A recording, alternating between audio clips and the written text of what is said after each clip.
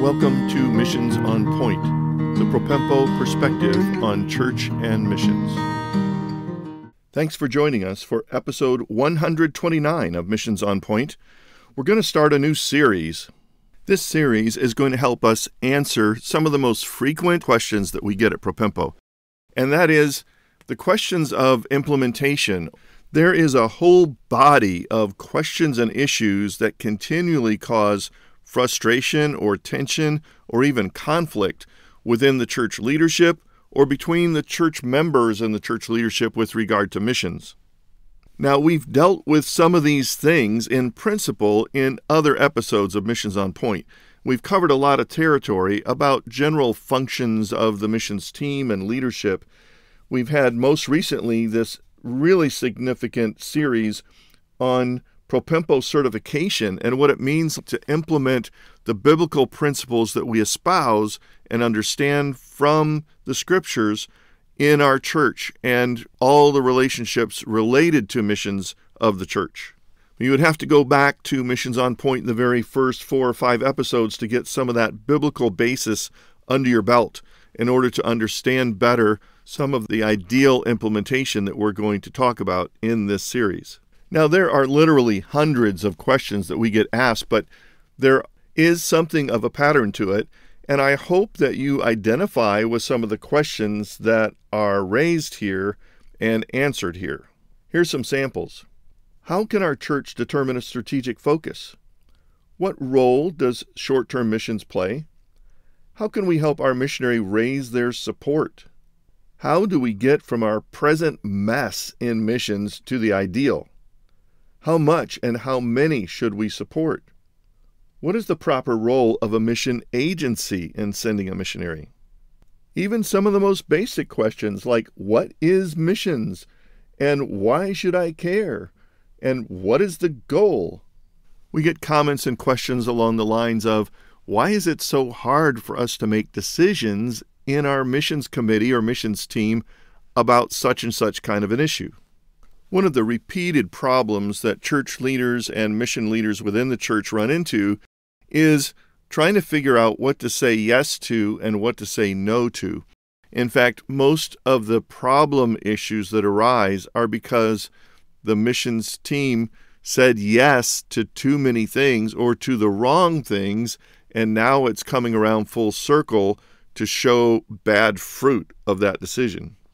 There are so many things in life and even in church ministry that we need to learn to say no and what guides our no decision so that we'll be able to say yes to the best thing. There are hundreds and hundreds, if not thousands, of many worthy causes and ideas that we would love to be able to say yes to if we had infinite capacity, but we just don't. Therefore, we must refine our vision for what are the right things to say yes to to allow us to confidently and comfortably be able to say no to things that don't fit that. So, what we're talking about in this series is Your Church Missions Handbook. What do I mean by that? Well, most churches have at least some charter, even if it's a one page thing, for their missions ministries of the church. Often they may have a missions philosophy or a biblical basis for missions stated somewhere in the church documents. A church that is maybe bigger or better organized might have a fuller missions policy, but all of those things, in my view, kind of fall under the missions handbook. The missions handbook is a playbook, it is a reference, it is a guide for missions team work over the course of time so that new members and up and coming next generation of the missions team won't have to reinvent the wheel or start from scratch. So, some of you might be thinking right now, how does this apply to me?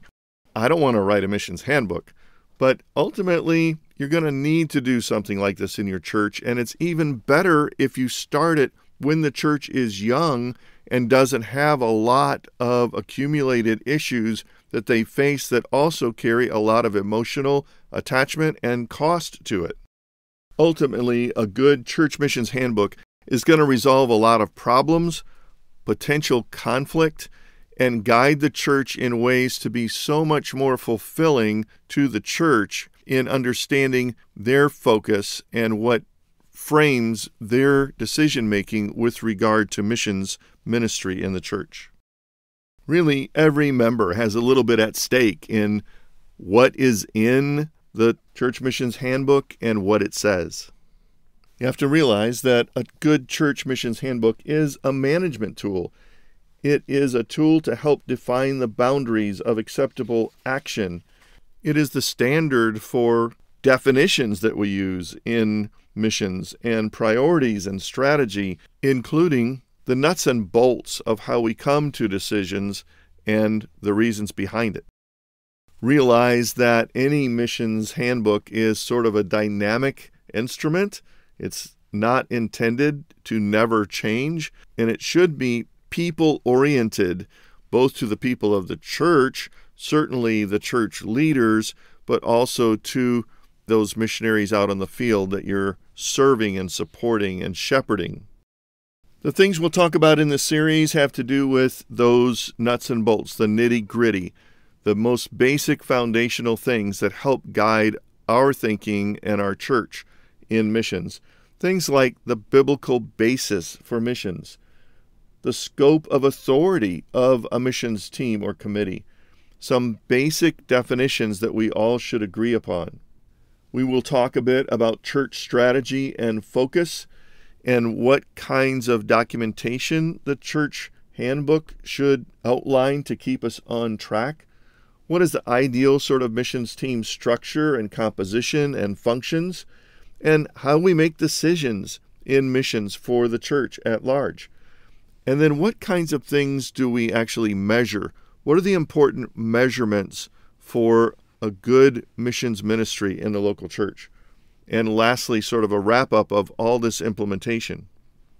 If you have ever been approached by a church member, a sincere, missions loving church member, who says, My sister or my brother or my nephew or my cousin is a missionary or wants to be a missionary, why can't our church have them present and then support them forever on the field?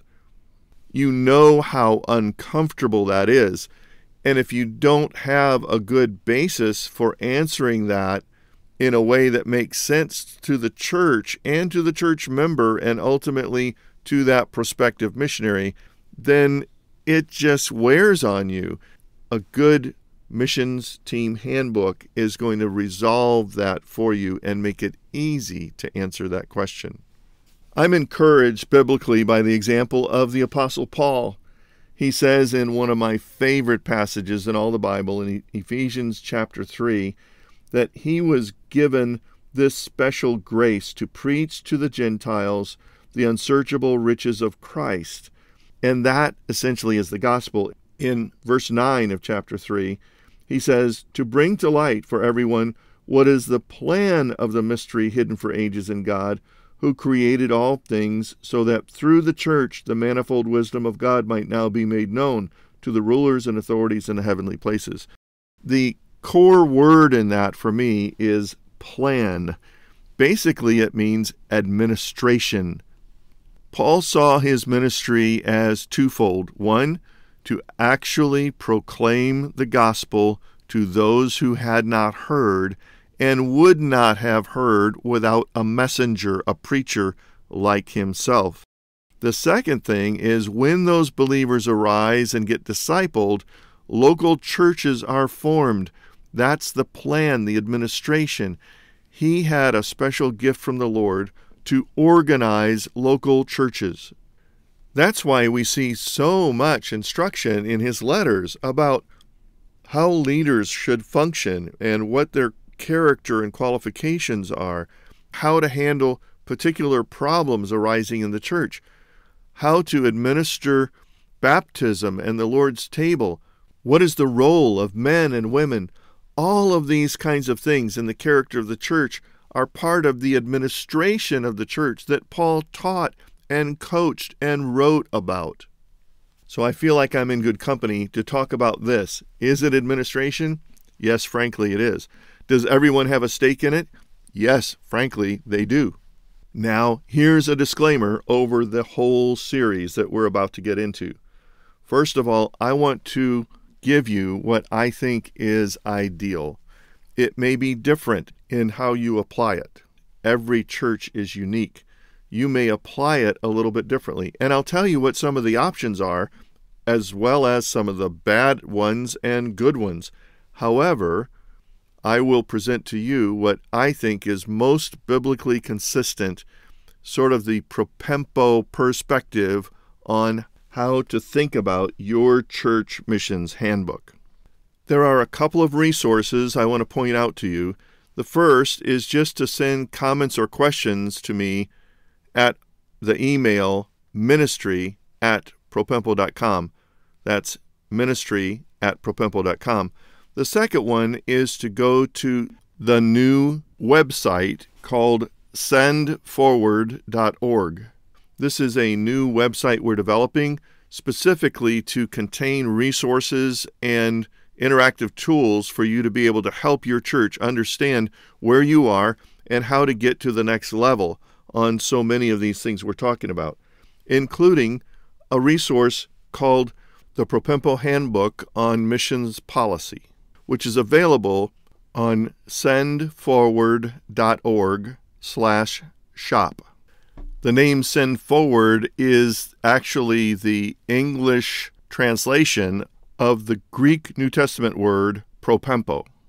There's also the church missions profile, both as an individual church leader and as a group, that helps produce recommendations in 12 key areas for your church so if you don't even know what the 12 areas are, you need to see the church missions profile. It is an interactive self assessment and it's a subscription that renews annually for you to check up on your church annually. In this series of podcasts, we're going to talk about biblical basis, missions philosophy, mission strategy, some church missions policy, how that applies in practical ways.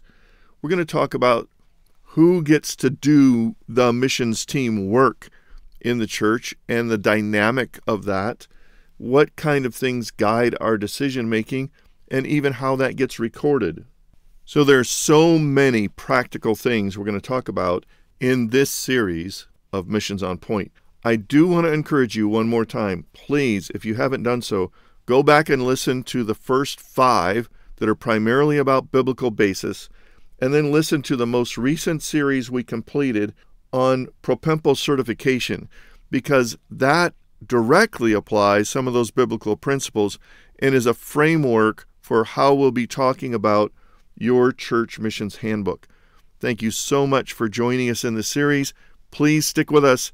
I think you'll find it interesting and practical for you, your thinking, and your church. Thanks for joining us today on Missions on Point. We trust that you'll find more help and resources on our websites at propempo.com and missioserve.org. We are so thankful for those who support us, enabling us to produce this podcast. Now, to God be glory in the church and in Christ Jesus forever and ever. Amen.